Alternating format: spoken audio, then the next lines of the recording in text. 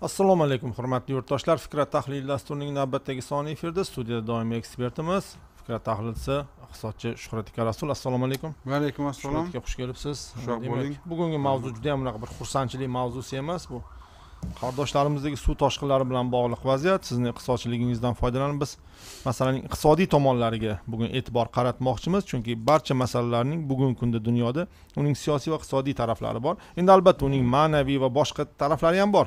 E, lekin mana bugungi e, kunimizga bog'laydigan bo'lsak biz buning siyosiy taraflarini siyosatshunoslar bilan suhbat qilamiz. Lekin suv toshqinlari. Biz endi eskidan bekorga aytishmaydi suv balosidan o'zi asrasin deb chunki bu suv o'zini oldida keladigan hech narsaga qarab o'tirmaydi va sidirib ketadi. Ko'pchilik o'ylaydi suv mo'l bo'lsa yaxshi aki hattoki bir eshitib qolamiz shunday bir fikrlarni. Endi lodkalarda yuradida qayiqlarda deb yo'q kechirasiz bu suv kelganda yonida hech narsani qoldirmay sipirib ketadi. Sardoba fojiasi buni ko'rsatdi. Shuhrat aka mavzuga mavzuning ichiga bugungi mavzuga kirishdan oldin umumiy savol. So'nggi vaqtlarda o'zi umuman iqlimiy o'zgarishlar mm, jiddiy tus olyapti. Bir tarafdan qarasang ichimlik suvi tanqisligi masalasi bor.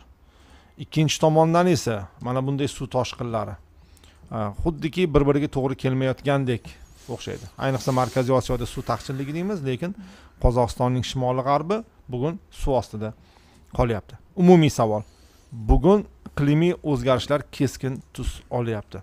Sabablar? Э, rahmat savolingiz uchun. Э, mana shu yigirmanchi asrni ikkinchi yarmida э, mana jahon nimasida klimatologiya degan bir fan shakllandi.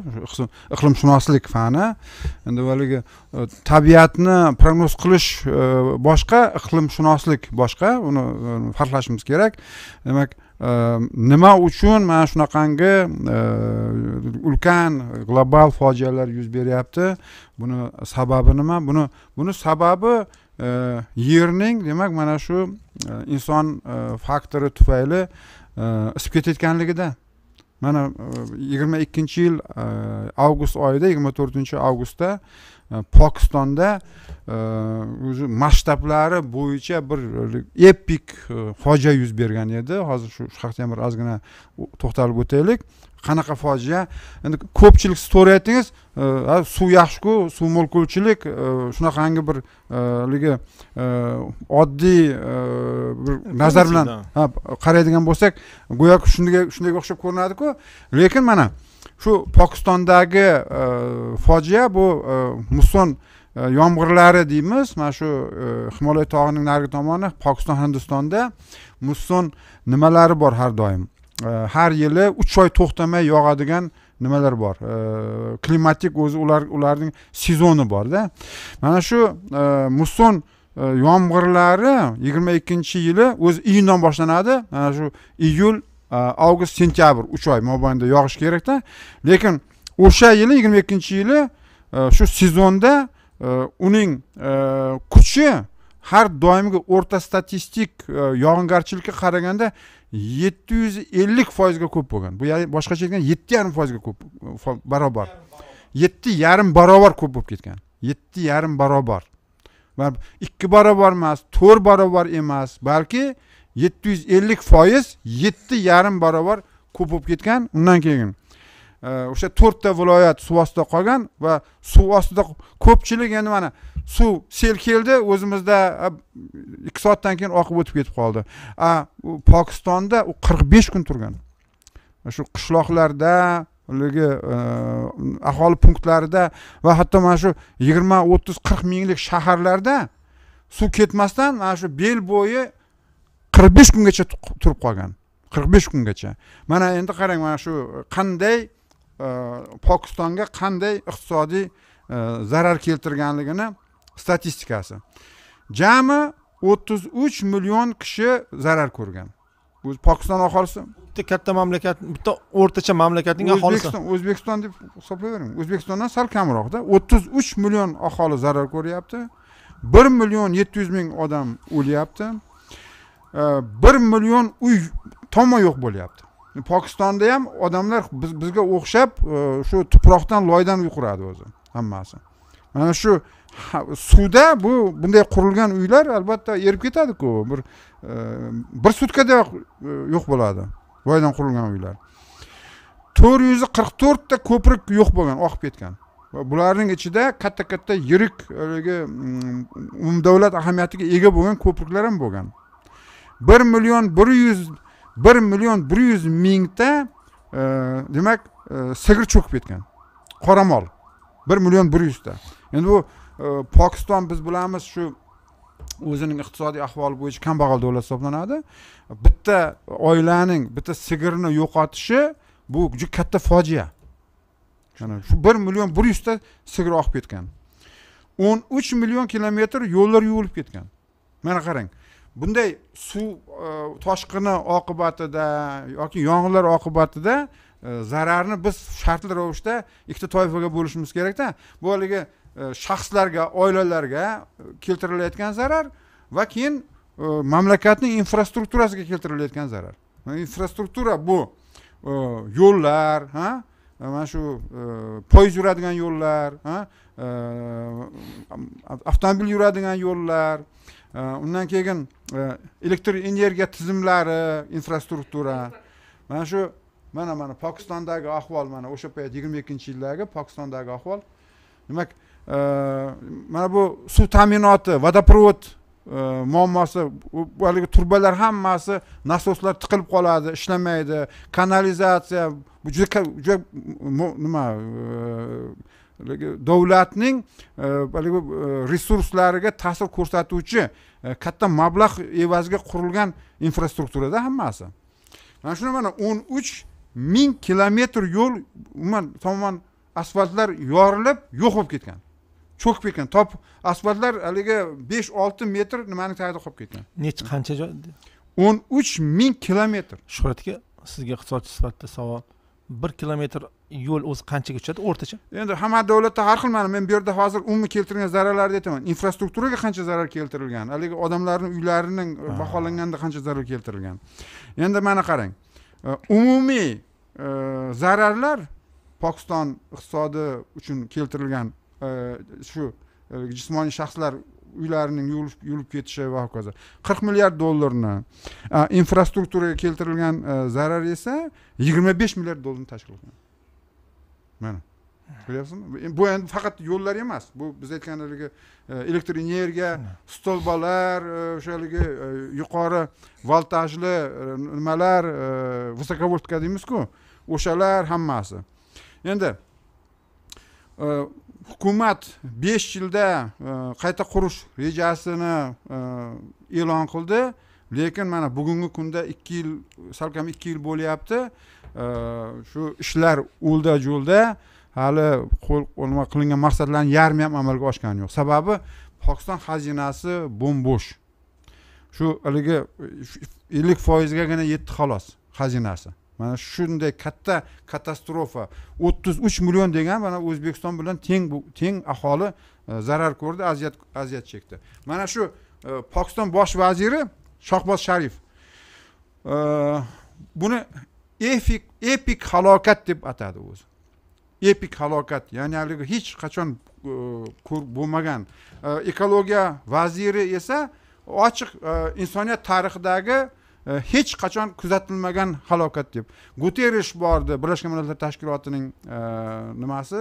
E, bosh kotibi va guterishning o'zi ham bu haligilarni oqibatlarini ko'rib judayam hayron qoldi va u ham bu yangi insoniyat tarixidagi suv bilan bog'liq bo'lgan nima halokatlar ichidagi eng kattasi yuz beribdi deb shunaqangi xulosa E, berib ketdi. E, endi bularga berilgan gumanitar yordam bo'ldi albatta. E, dunyo bularga gumanitar yordam ko'rsatdi. Xalqaro moliya institutlari gumanitar yordam ko'rsatdi. Davlatlar ko'rsatdi. Lekin baribir endi bu bunday katta ziyonni shu davlatni o'zidan boshqa hech kim uni tortmaydi ko'tarmaydi. Ko'rsatilgan yordamlar hammasi bir ikki milliard dollar atrofida. Endi bu pokistonda bo'lgan voqea. Mana bugun endi Э, mana shu э, rossiya federatsiyasi ural regioni deymiz. Ural regioni va qozog'istonning e, o'sha e, shimolida bo'layotgan voqealar. Bu hammasi shu e, to'rtinchi beshinchi aprel kunlari boshlandi. Va mana qanday boshlandi? Mana shu o'sha ural regionida orenburg degan oblastlar bor ularning. Orenburg ob- oblastida ors degan shahar bor. ikki yuz yigirma ikki yuz o'ttiz minglik aholisi bor. Mana shu o'rsk shahrini e, mana bu tuproq dambasi bilan bular ikki ming o'ninchi yili himoya qilgan. Bir yetti metr sakkiz metr qilib ko'tarib chunki o'sha paytda ham xuddi shunday bir e, nima fojia yuz bergan edi lekin masshtabi albatta bundan ancha kam ancha past. E, hozir mana shu haligi ural daryosining nimasi? E, tepasida turibdi daryo shu daryo daryoga qarshi qurilgan edi damba o'zi tosh toshib ketmasligi uchun o'sha ikki ming o'ninchi to'qqizinchi yillardagi mana fojiani ko'rsatyapti mana shu o'rs shahri demak o'sha nimada ikki ming o'ninchi yildagi fojiada to'qqiz metrdan sal oshgan edi hozir esa o'n bir metru sakson santimetr ko'tarildi demak Daryoning- hurmatli muxlislarimiz uchun biroz e, tushunarli bo'lishi uchun xarita orqali hurmatli muxlislar mana bu xarita. Mana ural daryosi. Bu mana ural daryosi bu qozog'istonning shimol e, shimoli g'arbida va rossiyadan mana rossiyada boshlanadi bu daryo. Mana ko'ryapmiz demak verxniy uralsk ya'ni yuqori ural bu yerdan kelib mana orsk shahri bilan o'tib mana chegara bu mana bu chegara. Mana bu yerda orenburg va yana qozog'iston hududiga kiradi bu daryo. Shunday shunday. Va oxir oqibat kaspiy dengiziga quyiladi. Va bu yerda o'sha masala shundaki toshqin mana shu basseynni barchasiga taalluqli bo'lib chiqdi. Hattoki o'sha atirauga eng oxirgi hali kelgan yo'q. Ya'ni ular hozir tayyorgarlik ko'ryapti. Juda jiddiy ya'ni butun basseyn bunga hozir mana shu yerdan uraldan ozgina o'tdi. Uraldan ozgina e, orenburgdan ozgina o'tdi. Orenburgdan ozgina o'tdi hozir mana o'sha e, nima ors shahri fojia u yoqda suv sal kamayyapti e, orenburgda kecha eng maksimal qiymatiga yetib erishib nima qildi endi mana qozoqlarni uralsk e, chapaysk va otrov shaharlariga bular endi bir e, sakkiz o'n kunda keladi. Mana atrofiga o'n kunlar atrofida keladi. Mana uralskka ham bir e, ikki uch kunda kelib qolsa kerak. Uralsk bu qozog'istonning sh- shimolidagi eng yirik shahar uch yuz ellik ming aholisi bor. Uch yuz ellik ming aholisi bor. Mana atrofi bir yuz ellik ming aholisi bor. Ko'rdingizmi? E, o'rsni aytdik hozir. Orenburg ham bir to'rt yuz ming atrofida to'rt yuz ming. Mana endi orenburg bo'yicha mana orenburg e, hukumatining shu dastlabki e, hisob kitoblariga ko'ra faqat orenburgning o'zidagi keltirilgan infrastrukturaga va shu haligi e, uy xo'jaliklari keltirilgan zararni demak e, qirq milliard rubl deb baholayapti. Bu qirq million dollarga teng. Qirq million dollarga faqat va faqat orenburg e, viloyat markazi. Hali o'risni qo'shmaymiz. Demak o'risni ham shu kamida e, u ham bir qirq million yoki ellik million dollar atrofida zarar keltirgan bo'lishi mumkin. A orada esa bularda yana o'nlab e, posyolkalar bor. O'nlab haligi ruslarni qishloqlari bor.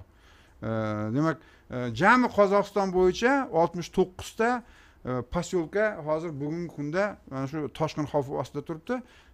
Umuman olganda bular hammasini suv bosib qolish ehtimolligi bor. Bor emas aniq umuman olganda. Endi Э, bilasizmi fojia nimada? Fojia shundaki bu endi boshlandi. Mana shu beshinchi aprelda boshlandi bugun o'n beshinchi o'n kun bo'lyapti. Shu ruslarning o'zlarining mutaxassislari bu mayning oxirigacha davom etadi deyapti. Va hozir biz aytayotgan e, shu yerda to'rtta daryo borda. Bu shu ural daryosi e, irtish daryosi bor. Undan keyin ishim daryosi bor va tabol daryosi bor. Mana shu to'rtalasi ham e, bir qismi qozog'iston hududida bir qismi rossiya hududida. Shundan ural daryosi rossiyada shakllanib kaspiyga quyiladi lekin irtish tobol va ishim daryolari shimoliy qozog'iston qozog'istonga tegishli sibirda shakllanadi dagin ular shimoliy muz okeaniga quyiladi. Endi hozir mana rossiya hukumati qozog'iston hukumatini mana shu dambalarini sifatsiz qurganligi dambalarni ochib yuborganligi ba'zi dambalarda qozog'istonlarda ham e, e, bir nechta dambalar yorilib ketgan. Shunda ayblayapti hozir. O'z navbatida qozog'iston esa mana shu o'rsdagi yorilib ketgan e, dambani ayblab mana sizlar shu sifatsiz ish qilgansizlar bu suv endi bizga kelyapti. Bizni mana katta viloyatimizni bosyapti ikkita uchta katta shahrimizni bosyapti deb mana shu haligi e, hukumatlararo e, chegara e, oblastlari hokimlari o'sha haligi rasmiylari amaldorlari bir biriga endi haligi muammoni to'nkashga o'tdi. Qozog'istonda jami o'n yettita viloyat bor o'zi ma'muriy tuzilish bo'yicha. Shuning o'nta viloyati bugun toshqin xavfi ostida turibdi. O'nta viloyati. Endi mana rossiyada hali endi boshlandi o'n kun. Buni haligi yana bir oy hali kuzatishimiz mumkin buni. Bu bu basseyndan tashqari yana. U mana shu g'arbiy sibir tekisligining sharqiy tomoni mana bu tumen tomsk tomonlarida ham shunday muammolar bir o'n besh kunlardan keyin boshlanishi mumkin. Shu o'zlarining mutaxassislari aytyapti. Oyning oxiri yoki may oyining Э, boshida yuz berishi mumkin. Kurgan mana oltay viloyatida э, kurgan shahri bor. Kurgan shahri ham bir sakkiz o'n kundan keyin suv ostida qolish ehtimolligi bor. Kurgan shahri ham bir uch yuz minglik e, katta aholiga ega bo'lgan shahar hisoblanadi rossiyada. Undan tashqari bu e, mana shu o'rta sibir deymiz mana g'arbiy sibir sharqiy sibir va markaziy sibir bor. Mana shu markaziy sibirni boshlanishi ob daryosi uning uning basseyni mana angara degan haligi daryolar bor u yerda katta katta sersuv daryolari. Keyin mana amur daryosi bor uzoq sharq. U yoqda ham muammolar paydo bo'ladi. Bir ikki haftadan keyin. Mana shu amur u bir o'n besh yil oldin e, toshib ketuvdi va shu xitoyning ham bir bir qancha shaharlari va posyolkalari rossiyani ham katta nimalariga zarar ko'rgan. E, suv hattoki xabarsk shahri shu amur quyiladigan joylargacha borib o'sha o'sha yerlarda ham katta iqtisodiy zarar keltirgan edi. E, bu yil ahvol o'sha o'shalardan ham yomon. Umuman mana shu toshqin hali na rossiya tarixida na qozog'iston tarixida kuzatilmagan. O'sha bir ming to'qqiz yuz ellik uchinchi yilgi e, toshqin ham mana shu ural daryosini haligisida e, e, arxivlarni ko'tarib qaraganda ko'tarilishi rekordini hozir o'zgartirib o'zgartirdi. Bir metr hozir o'sha ellik uchinchi yilga qaraganda ham baland ko'tarilibdi. Bu degani haligi toshqinning ko'lami o'sha ellik uchinchi yildagi toshqindan ham ko'proq bo'lyapti degani.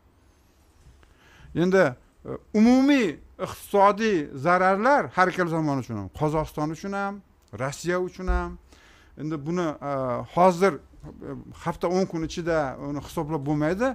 Hamma joyda e, mana komissiyalar tuzilibdi. Rossiyada ham mana shu viloyatlarda qozog'istonda ham komissiyalar viloyat markaz viloyat hokimatlari nimasida qoshida va bu komissiyalar endi keltirilgan zararni hisoblash haligi nima talablar kompensatsiya taraf talablar himoya qilish kerak shu o'zlarini o'sha aytayotgan nimalarini isbotlash kerak endi rossiya э, e'lon qildi. Umum federal nimasida e'lon qildi. Э, haligi э, yer uchastkasiga keltirilgan zararlar uchun yigirma ming rubl to'laymiz dedi. Bu endi bir ikki yuz dollar atrofida. Agarda shu zarar uyigacha kirib borib buni haligi mebellari холодильниклari televizorlari ham suv ostida qolgan bo'lsa ular uchun besh yuz dollar kompensatsiya to'laymiz. Deyapti umuman uyi qulab uyi yo'q bo'lib ketganlar uchun ming dollar to'laymiz deyapti. Qanday ming dollarga keyin uy tiklab yo'q albatta bu endi bularni qo'li kaltaligidan. Rossiya mana oltin ha oltin valyuta zaxiralaridan ayrildi. Bugungi kunda rossiyani oltin valyuta zaxiralari o'zbekiston oltin valyuta zaxiralari bilan tenglashib qoldi. Mana biz dekabr oyida qozog'iston bilan teng degandik oltin valyuta zaxiralari. biz o'syapmizmi yo ular tushib ketyaptimi ular tushib ketyapti. Biz ham o'sayotgandimiz ular yo'q endi biz o'sha haligi e, e, xalqaro valyuta fondining nima prognozlari bo'yicha e, besh yuz besh deb aytilgandi besh yuz yetti deb aytilgandi. Lekin men mana kecha o'qidim markaziy osiyo davlatlari uchun osiyo taraqqiyot banki mana shu statistikani sal o'zgartiribdi. Hammamiz uchun bitta o'zbekiston uchun emas tojikiston qirg'iziston turkmaniston va shu jumladan o'zbekiston uchun ham ozgina ozgina yana haligi e, tushirib qo'yibdi o'sishni e, o'sishining sur'atini sal kamaytirib qo'yibdi. Endi gap bu yerda hozir e, haligi rossiyadagi o'sha haligi mablag'ning yo'qligi. Albatta ming dollar bilan uyni tiklab bo'lmaydi. Ming dollar bilan. Shu hozir shu rus fuqarolarining juda kuchli e'tirozlariga olib kelyapti. O'zlari aytyapti mana televizorni ko'rsatyapsizlar haligi kraska chaplab ya'ni yolg'on gapiryapsizlar amalda esa qani yordam qozog'istonda mana armiya tashlandi armiya. Rossiya armiya tashlashga ham imkoniyati yo'q. Endi armiya urushdaku armiya urushda xuddi shunday haligi juda kam sonli texnikasi ham haligi e, qariyb yo'q bo'lgan. e, o'sha haligi favqulodda vaziyatlar vazirligi mchslari kelib turibdi. Lekin ularga aholining e'tirozlari juda ko'p kuchli. Chunki e, haligi birinchidan texnikasining o'zi yo'q ikkinchidan esa odamlari ham yo'q odamlari odamlarning o'zlari hozir o'zlarini kuchi bilan hamma narsani qilyapti va e, stixiyali o'rs shahrida orenburg shahrida e, rus fuqarolari stixiyali mitinglarga chiqib janjal ko'tarib boshladi hozir. Chunki mana bu e'lon qilingan e, kompensatsiya mablag'lariga ular norozi ular rozi emas. E, endi hozircha hozircha mana shu biz aytgan e, shaharlarni suv bosishiga qaramasdan jami rossiyada suv ostida qolgan demak uy ro'zg'or nimalari hozircha uncha ko'p emas ekan mana jami o'n to'rt mingta uy kechagi statistika bo'yicha o'n to'rt mingta uy xo'jaligi shu bitta viloyat nimasida? Orenburg viloyatidada. Endi boshqa viloyatlarda ham bor. Mana masalan shu bugungi kungacha samara viloyatida uch ming to'qqiz yuzta uyni suv bosgan. Qurg'on viloyatida to'rt ming uch yuzta uyni e, nima e, suv bosib ketgan. E, o'sha iqtisodiy zarar. Ho'p keyin mana bu kurgan viloyatidagi yana mana bir bis degan shahri ham bor ekan. E, u yoqda ham mana ikki ming yetti yuzta e, nimasi e, suv bosib ketgan. Asosan bu частный sektor deymiz. Ko'p qavatli uylar emas. O'sha haligi o'rsda ham mana bu nimada ham? Orenburgda ham eski shahar ya'ni oldin qurilgan shahar. Chunki bularni yangi shaharlari sal sal tepalikka qurilgan ekan. Shularni sal sal hisobga olgan. Hozircha Э, bularni haligi birinchi etajlariga chiqmagan birinchi etajlar. Lekin chiqish ehtimolligi bor. Xususiy sektor esa to'liq suv ostida qolgan. Mana videolarni ko'rdik. Suzib yuribdi xususiy sektor xususiy sektor mana shu nimalar hammasi shunaqangi. Shuhrat aka keling bir e, nozik savol bilan murojaat qilay. Ko'rsin. Suv toshqinlarini ham sun'iy tashkil qilish mumkinmi? Dushmanchilik qilib. Ha e, endi albatta fan va texnika hozir juda e, ildam rivojlanyapti. E, mana masalan bir qator arab monarxiyalarida arab davlatlarida sun'iy yomg'ir yog'dirish texnologiyalari bor. Sun'iy yomg'ir yog'dirish yog'dirish mumkin. Lekin bunday masshtablarda emas. Hozir bu yerda bosh muammo nima? Bosh muammo mana shu haligi e, ural regioni ural regionida rossiyaning biz aytgan shu e, beshta viloyati joylashgan qozog'istonning ham beshta viloyati joylashgan. Mana qaysi viloyatlarligini aytamiz. O'tror viloyati aqto'ba viloyati axmola viloyati kustanay va pavlodar viloyatlari. Har har ikkala tomondan shu haligi beshta oltitadan viloyat joylashgan. Shuni biz shu e, ural regioni deb aytamiz. Chunki ural shu yerga kelib tugagan. Shuning g'arbiy tomoni va hmm. shuning sharqiy tomonida bo'layotgan e, o'sha bugungi kunda ofat. Va to'rtta demak e, nimani ham aytdik hozir? Daryoni ham aytdik. Bu irtish ural daryosining o'zi ishim va tabol daryosi. Endi e, asosiy sabab bu daryolarning toshib ketishi. Daryolarning. A daryo nima uchun toshib ketdi? Har doim bo'lganku. O'tgan yil nima uchun toshib ketmadi? Undan oldingi yil nima uchun toshib ketmadi? Besh yil oldin nima uchun toshib ketmadi? Toshib ketgan nega o'zi umuman avval avval bunday masshtabda toshqin bo'lmagan? Bo'lgan. ikki ming o'ninchi yil ikki ming to'qqizinchi yillar bo'lgan yo'q endi shuni hmm. rossiyadan beshta qozog'istondan hmm. beshta viloyat qo'shilib shunday ha shunga yaqinroq. Albatta bundan bir karrasiga kam. Shuni aytamanda ya'ni bunchalik bo'lmaganku. Ya'ni bugun ilm fan judayam haligi bir rivojlangan davrda shunday bo'lyaptida ha endi mana tushuntiramiz. E, Tomoshabinlarga ham. Haligi ortiqcha konspirologiyalar bo'lmasligi uchun demak muammo shundaki mana shu birinchi apreldan boshlab mart oyining oxiridan boshlab mana shu regionda aynan mana shu region va shu regionning sharqiy qismi. Biz aytyapmiz muammolar endi haligi amurda ham boshlanadi ob havzasida ham boshlanadi deyapmizku ha? ana shu mana shu nimada? Meridianda Hmm. e, ob havo keskin isib ketdi. Agar u sekin isiganda edi bular vaqt nimasida diapazonida o'zi shu oqib oqib bo- boradigan joyiga borardi hech qanaqangi bir haligi global muammo tug'dirmas edi. U masalan bir oyda erishi kerak bo'lgan narsa uch kunda eryapti mana muammo qayerda tez isib ketishi. Tez isib ketishi oqibatida birdaniga eridi va shu daryolarga zo'riqish paydo qildi. O'zanga. O'zanlarga zo'riqish paydo qildi. Ha shu daryolarning o'zlari va bu daryolarni shakllantiradigan e, boshqa kichkina kichkina daryolarga e, juda kuchli zo'riqish beryapti va undan keyin mana rossiya mana shu daryolarni har doim haligi protivopavодковый tadbirlar deydi ya'ni shunga qarshi tadbirlari bor edi. Ular e, nimalar bilan? Artilleriya bilan muzlarni oldindan portlatardi. Yo artilleriya bilan yoki haligi nima qilib e, nima chuqurlik qilib e, portlatib tayyorgarlik ko'rib qo'yardi. Bu yil bular bular urush bilan ovora bo'lib shu ishlarni qilmabdi. Buni ham o'zlari mutaxassislar aytyapti. Mana shu narsa vaqtida bo'lmadi kechikib ketdi deb aytyapti. O'sha muzlarni oldindan portlatib qo'yish bu biz aytgan haligi vaqt vaqtni cho'zish e, masalan mana e, bir kunda emas u sekinroq keyin tiqilib qolmaydi. O'zanlar tiqilib qolmasligini ta'minlab beradi. Mana asosiy muammo shu. Albatta bu yerda hech qanaqangi konspirologiya yo'q. Bu umuman planetar o'sha e, klimatning o'zgarishi ob havoning o'zgarishi bilan ham bog'liq. Bunday hodisalar endi shu shu fan mutaxassislarining fikriga ko'ra yildan yilga ko'payishi mumkin lekin kamaymaydi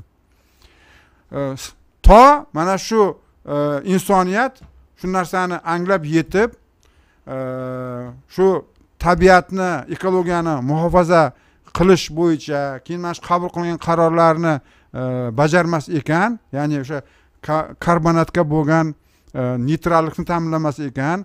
Mana shu ikki foizdan yillik o'rtacha temperaturani oshirmaslik uchun harakat qilmas ekan bunday narsalar bo'laveradi. Planetar masshtabda bo'ladi bu planetar masshtabda. Mhm. Sssr davrida sibir daryolarining bir qismini markaziy osiyoga burish loyihasi bor edi. Balki rossiya va qozog'iston uchun ushbu loyihani qayta ko'rib chiqish manfaatli bo'lar degan savol berishibdi. Ya'ni endi bu savolga qo'shimcha qilib ketay shuhrat aka qozog'istonda bilmadim bu qanchalik. Haligi endi ekranni ko'rsatsangiz bo'ladi. Shokir mana qozoq- shu ir- irtishning o'zanini o'zgartirish edi bu. Ha. Mm. mana endi qozog'iston uchun bu qanchalik deylik doimiy xavf bilmadik lekin rossiyada doim ya'ni bu mavsum deyiladi ularda. Hmm, ya'ni suv hmm. toshqinlari mavsumi ularda bahorda ya'ni aprel may oylarida ularda doimiy va bular unga doim tayyorgarlik ham ko'radi. Ya'ni suv toshqinlariga tayyorgarlik deydi va u- uquvsizlik bilan tayyorgarlik ko'ryapti Ma- Mm. lekin bu bor narsa to'g'rimi? Hmm, hmm. ya'ni suv toshqinlari mavsumi rossiyaga doim xavf soladi. Bor. Mana shu muammo bor ekan. Balki o'sha sssr davridagi loyihani bir ko'rib chiqish vaqti kelmadimikin ular uchun ya'ni o'sha boyagi irtish daryosini hech bo'lmaganda markaziy osiyoga bir oxir oqibat orolga jo'natib yuborish endi bu loyiha mana shu oltmishinchi yillarda e, shu e, sovet olimlari nimasida e, bir gipotez sifatida ko'rilgan. E, keyin uni e, texnik e, nimasi teosi ham bir e, nima ishlab chiqar- chiqqan. Saksoninchi yillarda. Saksoninchi yillarda. E, o'sha paytdagi narx navo bo'yicha men agar bir e, nima yanglishmaydigan bo'lsam narx navo bir yuz ellik ikki yuz milliard dollar deb baholangan. E, juda nima masofa uzoq irtishdan e, amudaryoga kelish u orolga emas. Amudaryo mana bu qizil o'rdadan o'tib sirdaryoga e, uzr sirdaryoga qizil o'rdadan o'tib shu e, o'zbekistonda shu haligi mana bu navoiy viloyatini tepasiga kelib urilishi kerak edida. Lekin u qozog'iston hududi bo'lardi qozog'iston hududi. Endi orol to'lib qolardi hech bo'lmasa. Ha orol to'lib qolardi keyin lekin e, shu amudaryodagi ortiqcha suvni yana o'zbekistonga tortish ham mumkin edi. O'zi plan bo'yicha shunaqa bo'lgan. E, e, Э, albatta agar э, o'sha payti sovetni mablag'i bo'lganda edi balkim buni bir harakat ko'rsa bo'lardi lekin o'sha paytda ham bularni kuchi yetmasdi. Mana shu saksoninchi yillarda men eslayman sssrni haligi oltin valyuta zaxiralari har doim shu e, qirq ellik milliard dollar atrofida edi. U pulni qayerdan olardi? Pulni o'zi yo'q edi. Endi to'g'ri buni vaqt nimasida diapazonda cho'zib buni bir qirq yillik ellik yillik loyiha qilib olib kelish balkim mumkindir ham agar bir siyosiy iroda bo'lganda hm? lekin e, buni shu boshqa bir e, o'sha rus e, nimalari geograflari inkor qildi. Bu markaziy osiyoning nimasini o'zgartirib yuboradi tabiatini o'zgartirib yuboradi. Bu sibir daryolari u yoqqa o'zi bormaydi. Ular sibir sovug'ini ham olib boradi degan shunaqangi bir gipotezlar ham kelib chiqqan edi. Umuman olganda bu e, sssr degan e, davlatning iqtisodiy e, kuchi yetmaydigan loyiha edi. Sssr degan. Hozir esa hozir bugungi rossiya albatta bu loyihani amalga oshirish uchun hech narsasi yo'q hozir.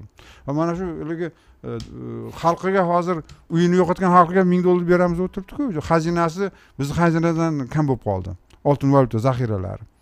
Mana qozog'iston e, hali rasman aytmadi lekin qozoq vazirlari qozoq hukumatining vakillari komissiya a'zolari mana e, nima qosim jo'mart to'qayev komissiya tuzgan favqulodda komissiya shu hamma vazirlar hozir shu o'nta viloyatda yuribdi. E, shular xalqqa aytyapti mana qozoq matbuoti aytyapti. Kimning uyi tiklanmasa davlat tekin uy qurib beradi deyapti. Lekin bu gapni rossiya aytmayapti. Rossiya ming dollar beramiz deyapti. Mana uyi yo'q bo'lib ketdi ming dollar. Qozog'iston hukumati esa tiklanmaydigan uylar uchun boshga bosh uy qurib beriladi deb aytyapti. Hali qaror chiqqani yo'q lekin va'dalar shunday. Katta ehtimol bilan bu va'dalar bajariladi. Chunki e, qozog'istonning nimasi? Oltin valyuta zaxirasi. Ancha bir haligi e, sezilarli oltin valyuta zaxirasi bor. E, bir yuz o'n ming bir yuz o'n E, milliard dollar rossiyaning e, nimasi esa xaltasidagi puli bizniki bilan teppa teng hozir o'ttiz milliard o'ttiz besh milliard dollar mablag'i qoldi u bilan endi u nima qilsin u urushsinmi ukrainani yengsinmi yoki bu bu boshlangan halokat endi boshlandi g'ayratxo'ja hmm. bu keyin suv yana bir marta mana pokistonda qirq besh kun turib qoldi hmm. ko'pchilik o'zimizga e, qiyoslayaptida haligi sel keldi shovulab o'tib ketdi ikki soatdan keyin hech narsa qolmadi. Bunaqa bo'lmayapti. Bu ham bunaqa bo'lmaydi. Mana hmm. nimada ham o'rsda ham to'rtinchi aprelda bosgan suv hali turibdi. To'g'ri u mana hmm. ikki metrga bo'lgan bo'lsa hozir endi bir yarim metrga tushdi lekin bir yarim metr bo'lib turibdi o'n kun o'tib ketdi. Hali yana o'n besh kun turadi u. Shunaqangi. Va endi bu yog'iga mana o'n besh kun aprel o'n besh kun yigirma kun may oyi. Bu e, suv bosish endi mana g'arbiy sibirdan e, markaziy sibirga va sharqiy sibirga qarab yuradi.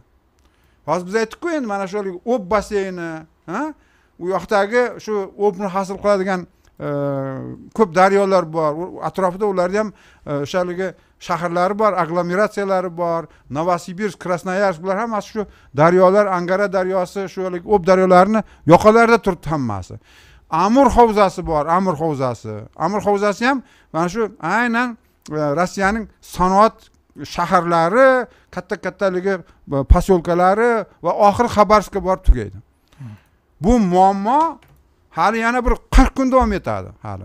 Boshlanishining zarari bitta orenburg shahriga e, dastlabki hisob kitoblar bo'yicha qirq million dollar zarar keldi deb aytyapti. Qirq million.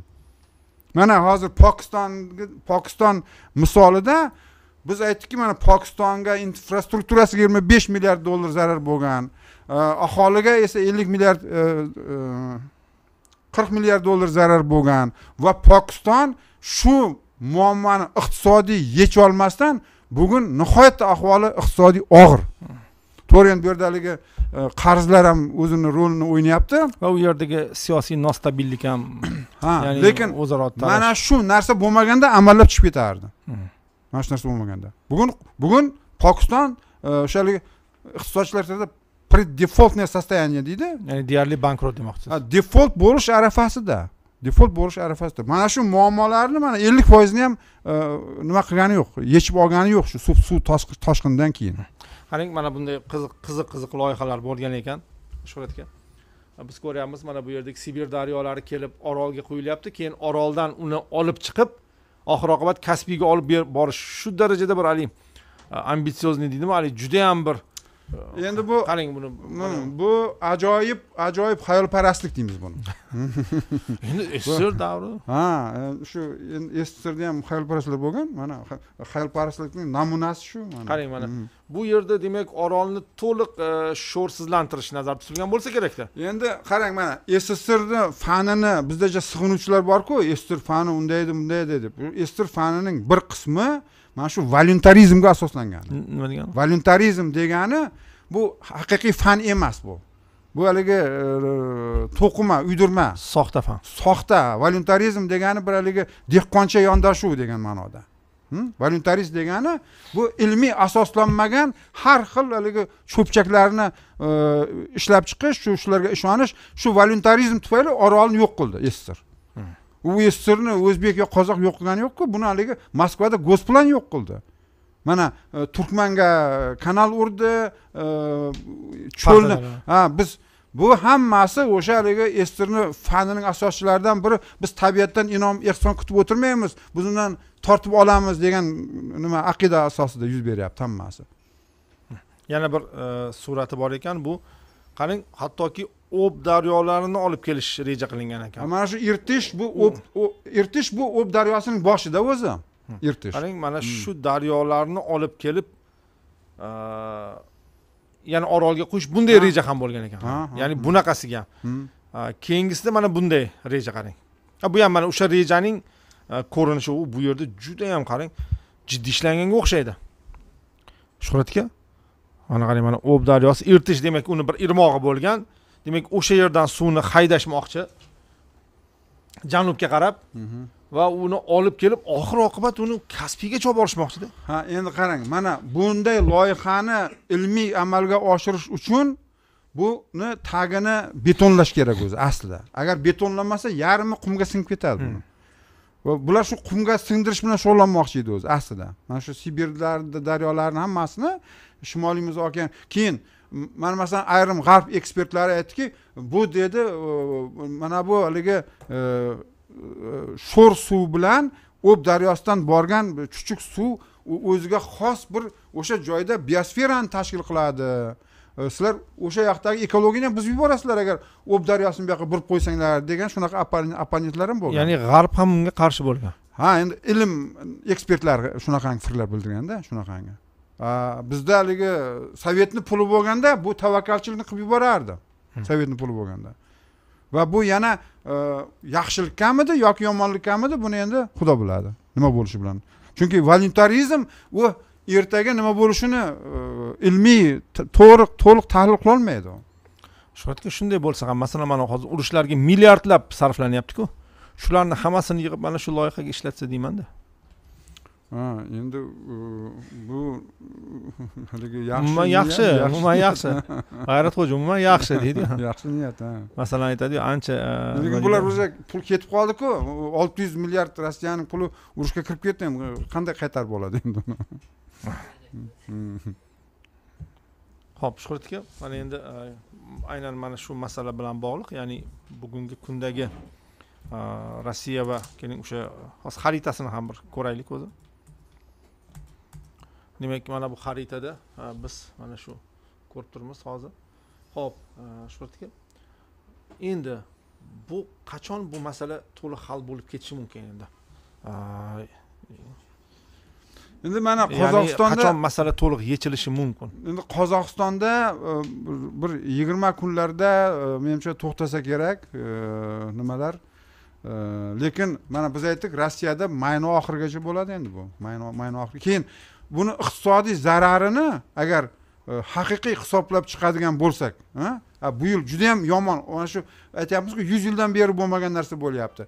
U yoqda ham markaziy sibir va sharqiy sibirda ham xuddi shunday e, nima yuz berishi mumkin. Buni zarari endi e, qancha bo'ladi? Mana hozir bitta shaharda qirq million dollarlik iqtisodiy zarar deyilyapti bu besh milliard bo'ladimi o'n milliard bo'ladimi yigirma milliard dollar bo'ladimi? Buni hammasini endi mana yozni o'rtasida ma'lum bo'ladi. Agar ma'lum bo'lsa lekin rossiya hukumati juda ko'p narsalarni haligi sirlashtirish maxfiylashtirishga juda usta aytmasligi ham mumkin. Haqiqiy ahvolni lekin baribir mana shu xalqaro mutaxassislar o'zlari bir xulosalarni aytadi. Mana shunchalar zarar ko'rdi deb aytadi baribir uni ah, rahmat shuhratga. Endi boshqa savollar bor. Bevosita bu emas boshqa mavzuga boshqa mavzularda chunki siz kelganingizdan foydalanib iqtisodiy masalalarga oydinlik kiritib olmoqchimiz. Hop keyin shokirjon bularni alohida belgilab e, berasiz berasiz. Aka demak mana bu videoni siz ham ko'rgan bo'lishingiz kerak. Hop. Eronning isroilga javob zarbalari e, uch yuzga yaqin e, deyildi. Masalaning siyosiy ma'naviy taraflari haqida suhbat qilmoqchi emasmiz. Demak e, iqtisodchi shuhratga rasuldan. Masalaning iqtisodiy tomonlari. Chunki ming afsus juda yam ko'p muxlislarimiz yo'q juda yam ko'p o'zim ijtimoiy tarmoq foydalanuvchilari shunday bir tasavvur hosil qiladiki hamma shu xuddiki urushdan manfaatdordek ko'rinib qoladi haligi haligi hamma bir birini ursa degandek haligi dushman bu tomonlar tomosha talab. To- tomosha talab. Aslida Hmm. bu urush juda yam yomon narsaku u yerda. Insonlar halok bo'ladi. Mana hozir g'azoda minglab odam va minglab bolalar o'lib ketdi. Yoki rossiya ukraina urushini oladigan bo'lsak urushlar doim yomon. Endi masalaning iqtisodiy tomoni shuhratga eron bu katta davlat. Eron bu juda bir kichkina Э, hech kim e'tibor bermaydigan davlat ham. Agar u shimoliy koreya bo'lganda birov e'tibor berardi birov e'tibor bermas. U davlatni bor yo'qligi ham faqatgina o'sha bitta atom e, bombasini yana bir marta sinab ko'rayotganda odamlarga qiziqda o'zi shimoliy koreya. U ham ko'proq shu g'arb e, o'ylaydi shu ertaga janubiy koreyaga nimadir qilib qo'ymasmikin deb. Ammo eron bu e, energiya resurslariga juda boy bo'lgan davlat va umuman energiya resurslar bozorida o'zini o'rniga ega bo'lgan davlat. Albatta birinchi o'ntalikda albatta albatta. Bu bu jiddiy davlat eron jiddiy davlat. Mana shu jiddiy davlat shuhratkaga choy berasiz nurbek. Mana shu jiddiy davlat nazarimizda urush arafasida turganga o'xshaydi. To'g'ri buni hammasini isroil boshladi. Yo'q joydan suriyadagi suriyaning poytaxti damashqdagi eron diplomatik korpusiga zarba berdi yo'q joydan. Eron demak uch yuzga yaqin e, dron raketa va hokazolar bilan isroilga javob berdi masalaning iqtisodiy tomoni. Bu dunyo iqtisodiyotiga qanchaga tushadi? Bu ikki davlatning urushib ketishi xudo saqlasin. Chunki bu ikki davlatning urushib ketishi boshqa hech kim aralashmaydi ham deb bo'lmaydi. Bu yerda aqsh turibdi bu yerda rossiya turibdi va hokazo. Va neft bozori. Hmm. Endi e, neft bozori bo'yicha mana shu oxirgi ikki haftadan beri neft stabil to'qson dollardan baland edi barreli mana shu hattoki e, zarbadan bir kun oldin ham to- to'qson brent e, haligi nima e, yevropa va e, shimoliy amerika bozorlarida to'qson ikki o'n sakkiz sent edi. E, bugun narxlar tushib ketdi. O'n sakkiz e, to'qson ikki o'n sakkiz sentdan bugun e, sakson to'qqiz dollarga tushdi. Ikki ikki dollaru e, uch dollaru o'n sakkiz sentga tushib ketdi narxlar. Endi albatta buni tushishiga sabab mana shu e, amerikadagi tarqalgan info e, ya'ni isroilning endi qayt qayta zarbalarini bermasligi haqidagi bayonoti va amerikaning isroilga o'sha shu ishni qilmasligi haqida haqidagi ta'siri bo'ldi. Umuman olganda xavf katta xavf bartaraf qilindi. Siz endi to'g'ri aytyapsiz bizda juda haligi tomosha talablik yaxshi birdan uchinchi jahon urushini boshlab yuboradi har doimda. Mana shu men shu urush boshlangandan beri haligi juda ko'p shu jumladan sizni e, nimalaringiz suhbatlaringizda ham e, ikki ikki uch marta menga haligi e, yadro urushi bo'ladimi uchinchi jahon urushi bo'ladimi deb har safar aytasiz men har safar bo'lmaydi bo'lmaydi bo'lmaydi deb aytaman. Shu gapimni yana aytaman yana takrorlayman. Demak uchinchi jahon urushi bo'lmaydi yadro urushi bo'lmaydi Ha, iloyim bo'lmasin ha. endi mana nima uchun mana shu shunday bo'lmasligini yana bir to'g'ri mana siyosatshunoslarning o'zlarining bir talqinlari bor lekin bu yerda yana bir fundamental e, texnogen muammolar ham bor shu narsalarni ko'pchilik umuman e'tibor bermaydi. Eslarga ham kelmaydi hattoki mana qanday? agar bizga hozir e, nimani isroilni nimasini kartasini olib chiqsa men tushuntirib beraman hozir nima nimada gap ekanligini. Mana isroil de facto yadro quroliga ega. Uning yadro yadro reaktorlari bor. Mana dimon degan sh- shu mana bu e, nimada isroilning qoq markazida bir cho'l bor. Ana shu cho'lda ularning e, haligi yadro quroli uchun xomashyo zavodlari bor оружейный plutoniy deydi. Mana mana shu yerda mana. Dimon degan bir yopiq shaharlari bor. Shu dimon shahrida ular hamma o'zlarining yadro qurollarini yasaydi. Yadro yadro qurol yasash uchun yadro reaktor bo'lishi kerak. Chunki o'sha haligi оружейный plutoniyni ishlab chiqarish kerakda. Ya'ni uran boyitilishi kerak. Ha barakalla endi mana shu dimon shahrida dimon shahrida mana Ne- negiv degan cho'l bor. Negiv ch- e, cho'lning o'rtasida dimon. O'zi qarang isroil mana shu e, bu uchidan shimoldan ta janubgacha mana elat degan shahri bor ularning haligi e, qizil dengizda nima qiladigan mana bu endi o'lik dengiz. To'rt yuz yigirma kilometr o'zi. A eniga eng enli joy oltmish kilometr. Mana eniga oltmish kilometr uzunligiga bor yo'g'i to'rt yuz yigirma kilometr. Bu davlatni umuman olganda ertalab chiqib u boshdan boshiga kelib qo'yishingiz mumkin. Shu davlati tugaydi. Hmm. Endi mana shu dimon shahridagi shu yadro reaktoriga eronning yadro quroli yo'q deymizku ha? Ha yo'q ya- yadro quroli. Lekin ana shu reaktorga agarda eronning kattaroq bir e, ballistik raketasi tushsa tushish ehtimoli bor lekin. albatta tushish ehtimoli bor. Ular judayam e, e, aniqlikdagi raketalari bor eronning. Mhm. judayam aniqlikdagi raketalari bor. Bu mana bu beshta chernobil bo'ladi.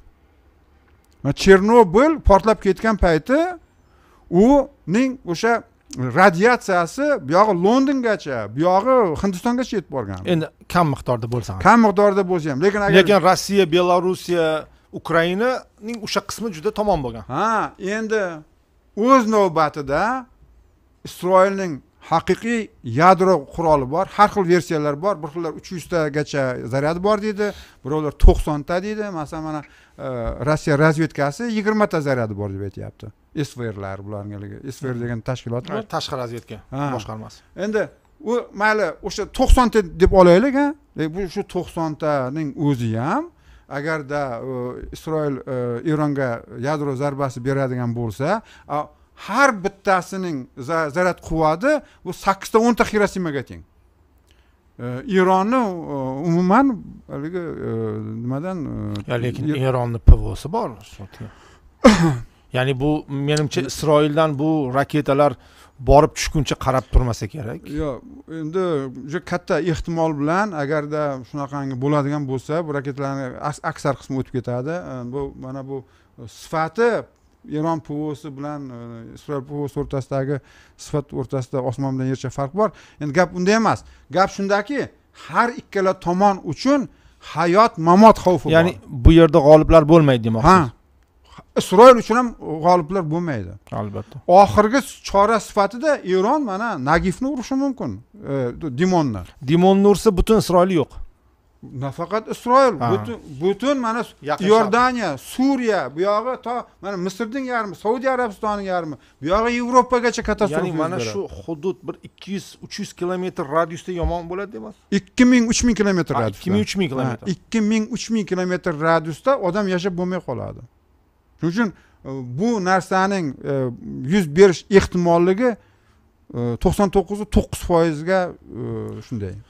Nurbek shunda chernobil fojiasi eng yomon hudud nechi kilometr radius? Shuni shunday bilib bering. Ya'ni eng yomon hudud deb hisoblangan. Ya'ni odam umuman yashab bo'lmaydi. yashasa bo'ladiganini alohida. Birinchi halqa oltmish kilometr radiusda edi. U halqalari borda ularni birinchi halqasi birinchi halqani o'zida isroil territoriyasi to'liq ketadi yo'q endi bu chernobildan bir e, besh olti barobar chernobilda oltmish kilometr besh olti barobar demak uch yuz to'rt yuz kilometr. Umuman isroil de- degan hududda hech kim yashamasligi kerak bo'lib qoladi. Bu degani g'azo ham yo'q hech kim. g'arbiy sohil suriya ham yo'q iordaniya ham yo'q iordaniya Hmm. va sinay.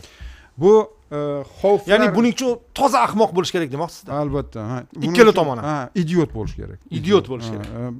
albatta ishonchim komil eron ham idiot emas isroil ham idiot emas va va isroilni tepasida turgan aqsh ham aqsh ham idiot emas shuning uchun mana shu aynan mana shu haligi ekzistensial halokat masalasi turganligi uchun ham eskalatsiya yurib yuz yuz bermaydi eskalatsiya bu eskalatsiya bo'lib tugadi eron ham tushunib mana biz haqqimizni oldik bo'ldi biz urushmaymiz deb shunaqangi shu ma'noda nima berdi Bayonot bayonot bayonot berdi qolgan gaplar hammasi endi albatta biz jahon siyosatshunoslarini shu jumladan o'zimizni ham siyosatshunoslarni fikrlarini juda hurmat qilamiz lekin qolgan gaplar hammasi lirika endi boyagi iqtisodiy masalasiga qaytsak. Mana shu urushning keskinlashuvi ya'ni urushib ketishi emas Hmm. vaziyatning keskinlashuvining jahon iqtisodiyotiga ta'siri. Chunki yodingizda bo'lsa shuhrat aka endi siz iqtisodchi sifatida buni albatta jiddiy kuzatgansiz.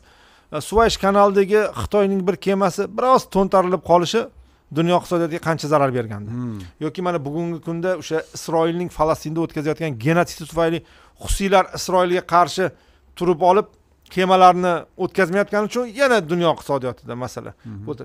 Endi bu uchinchi masala hozir. Ya'ni endi eron bilan e, ya'ni neftga boy gazga boy eron bilan isroilni orasidagi tirashuvning dunyo iqtisodiyotiga ta'siri haqida. Bu qanday o'zi hisoblanadi shuhrat aka ha endi e, xavf bartaraf qilindi. Bitta qo'shimcha qilib ketsam mayli Mhm. uzr yana bo'ldim shundoq ham rossiya ukraina urushi tufayli bitta o'yinchini chetlashtirishga harakat bo'lgan bu rossiya. Mhm. rossiyadagi katta o'yinchi chetlashtirishga harakat qilindi va yevropaga bu juda o'ta yoqimli emas bugungi kunda. Endi munosabatlar endi normallashayotgan eronni shunday bo'lishini ham ya'ni yevropa buni qo'yib beradimi degan bir savol ham bor ichida ha endi eronning e, neftini man men hozir bir gap aytaman e, shu haligi juda e, ko'pchilikka sal tushunarsiz bo'lishi mumkin lekin bu haqiqiy haqiqat sof haqiqat. Eronning neftining sotilishidan hozir bugungi kunda eng manfaatdor davlat aqsh. Nega? Mana shunday. Ana bo'lmasa. Shu jumladan rossiyaning ham neftining e, birdan tugab qolishidan aqsh manfaatdor emas. Aqsh hozir rossiya ham yaxshilab sotaversin eron ham sotaversin degan pozitsiyada va mana shu urushni haligi e, nimasini e, cho'q oldirishga e, qarshi bo'lib turgani ham aynan shu motivlar asosida. Ya'ni jahon iqtisodi portlab ketmasin degan motiv bo'yicha aqsh hozir eronning neftini to'liq bozorga chiqib sotilishi tarafdori. Aqsh. Aqsh albatta. Chunki chunki amerikada o'sha haligi saylovlar bilan bog'liq muammolar agarda mana amerikada agarda bugun neft bir yigirma foiz qimmatlashib ketsa benzin qimmatlashib ketsa baydenning prezident bo'lish e, ehtimolligi past bo'lib qoladi judayam bu bevosita to'liq bevosita bog'liq narsalar bular. Shuning uchun e, neftni bugungi kunda e, o'zining shu eng ashaddiy yoqtirmaydigan davlatlar rossiya va eronning neftlarining sotilishidan va ularning haligi ko'proq sotilishidan bugungi kunda hozir aqsh manfaatdor bo'lyapti. Aqsh hatto e, baydenning o'zi e, undan keyin byorns e, markaziy razvedka boshqarmasining nimasi direktori undan keyin hattoki mana bu mudofaa vaziri endi u salivan avval ham aytgan edi yordamchi hammasi hozir ukrainadan iltimos qilyaptiki haligi nimani e, bombardimon qilmang neft bazalarini neft bazalarini bombardimon qilma- qilmanglar. Haligi harbiy nimalarni bombardimon qilinglar. Haligi saylov oldi jahon neft krizisi kelib chiqmasligi kerak. Saylov oldi. Aqsh saylov oldida jahon neft xuddi shunday mana hozir e, isroilning mana shu yana bir marta qayta uramiz degan nimasini bular urmoqchi ediku. Javob Ye- bermoqchi javob bermoqchida mana shu aqshning bosimi tufayli endi bu yadro urushi emas albatta. Bu bular ham raketalar otmoqchi edi yana boshqatdan. E, yana haligi amerika bosdi shuni. Chunki amerikaning saylovdagi o'sha haligi manfaatlariga zid demokratlar partiyasining manfaatlariga zid neftning qimmat bo'lib ketishi chunki aqshda bu demokratiya aqshda eng muhim narsa odamlarning fikri agar odamlar hammasi neft qimmat bo'lib ketdi u rasvosi chiqdi bu baydenning bizga keragi yo'q desa bo'ldi bayden saylan saylanmaydi keyin tushunarli rahmat shuhrat aka so'nggi savol bugun ko'rsatuvdagi yaqin sharqdagi vaziyatning keskinlashuvi rossiya ukraina urushidagi vaziyatning keskinlashuvi va rossiya Qoz- qozog'istondagi suv toshqinlari. Bular ruschada вкупе deydi o'zbekchada jamladimi? Aha. mana shularning barini markaziy iqtisod markaziy osiyo iqtisodiyotiga ta'siri. Ha endi e, chunki bizning maqsadimiz oxir oqibat bizda qanday bo'ladi bizga ta'sir qilmaydimi degan masala borda baribir chunki baribir biz o'zimizni o'ylaymiz. Endi biz biz uchun eng haligi e, og'riqli bu e, o'sha haligi yoqilg'i masalasi neft masalasi benzin masalasi e, mana bu solyarka masalasi. Biz iqtisodiyotimiz iqtisodiyotimizda yo'q mana tabiiy gaz masalasi. Bu masalalar bo'yicha mana rossiya bilan kelishuvlar bor. Yana haligi boshqa davlatlar bilan ham muzokaralar olib boryapti. Umuman berib qisqa neft bozori haqida bir ikki og'iz fikrim borda. Mana shu ikki ming o'n sakkizinchi yili g'ayratxo'ja e, butun dunyo bo'yicha e, sarf qilingan neft bir kunlik sarf qilingan neft ha, e, yuz million barreldan oshib ketdi. Yuz million barreldan. Ikki ming o'n sakkizinchi yil. Keyin covidda ozgina orqaga tushdi. E, ikki ming o'n to'qqizinchi yilda ozgina orqaga tushdi. Yigirmanchi yili shu yuz million barrel iste'mol oltmish to'qqiz million barrelga e, tushdi. Uzr oltmish yetti million barrelga tushdi. Ya'ni kunlik iste'mol e, demak o'ttiz uch million barrellik kunlik iste'mol yo'qolib qoldi. Nima uchun yo'qolganini hammamiz eslaymiz.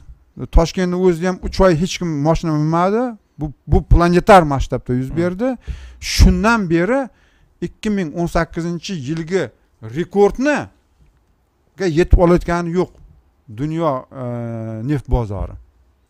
Mana hozir endi shu e, sakson sakkiz sakson to'qqiz million barrelga yetdi. Rossiyaning o'zi o'sha payti o'n bir yarim million barrel neft qazib chiqarardi. Hozir to'qqiz million barrel neft qazib chiqaryapti. Ya'ni ikki ming o'n sakkizinchi yilga qaraganda rossiya ikki yarim million kunlik ikki yarim million barrel neft kam ishlab chiqaryapti? Saudiya esa uch million e, million barrel kam ishlab chiqaryapti kunligi. Neftning hajmi mana shu e, o'sha ikki ming o'n sakkizinchi yilga hali yana o'n bir million barrel yetmayapti. Va mening fikrimcha endi e, yetmasligi ham mumkin neft bo'yicha. Sababi biz aytdikku neftga qarshi juda e, fundamental e, nimalar? Ilmiy texnika revolyutsiyasi elektromobillar ma- bu yangi e, nima qayta tiklanadigan energiya energiya manbalari ishga tushdi va bularning ulushlari yildan yilga oshib boryapti. Ya'ni neft qadam ba qadam sekin sekin tarixga aylanib qolishi mumkin. U o'n besh yil bo'lmasa boring bir yigirma yigirma besh yildan keyin. Hm? Endi o'zbekiston uchun bugungi kunda ha Э, albatta agar eronda katta urush chiqib chiqib ketsa э, eron orqali biz э, mana shu ikkita portdan uncha muncha foydalanib turamiz. Chorbakir va bandarabod portlaridan. Eron bizga yigirma besh foizlik e, chegirmalar bergan portlardan foydalanishda. Bu ma'noda albatta ozgina bizga e, yaxshi emas. Lekin eron bilan o'zbekiston o'rtasidagi e, iqtisodiy aloqalar uncha yaxshi katta emas. Sust o'zi besh yuz million dollar. Shuni bir milliardga chiqarish haqida bosh qotirilyapti. Hm? A, endi rossiya ukraina urushi o'zbekistonga qanday ta'sir ko'rsatyapti?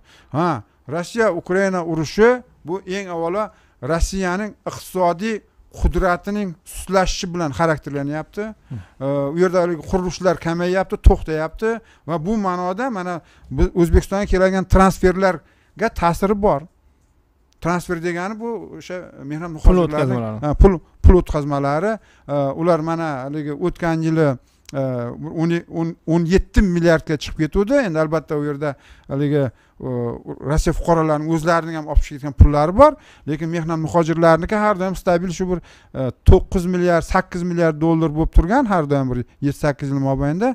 Mana shular ham kamayish ehtimolligi bor va hozir markaziy osiyodagi nafaqat bizga e, e, e, nafaqat tojiklarga kechagi voqealardan keyin krokusdagi o'zbekistonlik o'zbekistonlik mehnat muhojirlariga ham shu sal g'ayricha qarash bo'lyapti. Bu ma'noda bu ham bir urushning sababi oqibatlari iqtisodiy ta'siri bo'yicha.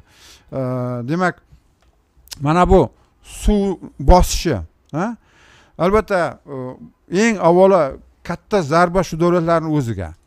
Hali bir yana bir yarim oylardan keyin e, shu qozoqlarning statistikasiga qarashimiz kerak. Bular endi to'g'risini yozadi baribir. E, shularning aytgan e, ko'rsatkichlaridan keyin biz rossiyadagi iqtisodiy zarar qancha bo'lganligini bir o'zimiz prognoz qilib olishimiz mumkin.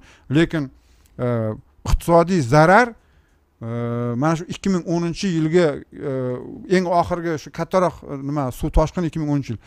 O'shan o'sha vaqt ikki ming to'qqiz.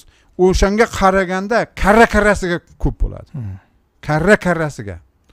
Endi u payti rossiyani qo'li uzun edi rossiyaning cho'ntagida e, neft dollarlari bor edi. neft dollarlari bor edi besh yuz olti yuz milliard dollar pullari bor edi.